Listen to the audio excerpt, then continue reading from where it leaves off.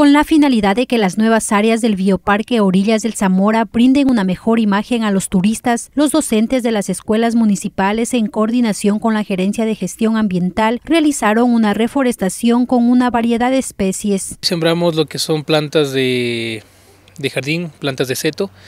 y, unas plantas decorativas como son las bugambillas que nos van a ayudar a lo que es el, cubrir de cierta manera lo que es el cerramiento perimetral,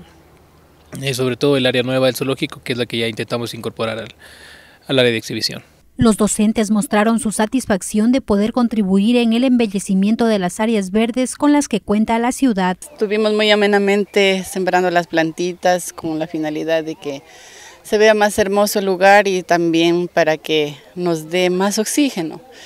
y para que todas las personas que vengan a visitarnos también este, vayan viendo las maravillas de las plantas, las flores, que nos ayudan muchísimo a embellecer el, el lugar en donde estamos. Como parte de la actividad personal administrativo del Bioparque, impartió charlas a los docentes para que conozcan el manejo de vida silvestre, así como el cuidado del medio ambiente y que ellos puedan replicar a los estudiantes. Siempre necesitamos nosotros como docentes estar eh, actualizados en lo que es reforestación, eh, técnicas y también un poco de avances también del zoológico, porque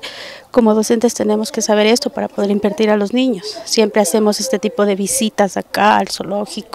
entonces, obviamente necesitamos estar informados. Esto se cumple mediante el programa de educación ambiental que está en funcionamiento desde el 2017 para trabajar coordinadamente entre centros educativos y el municipio de Loja.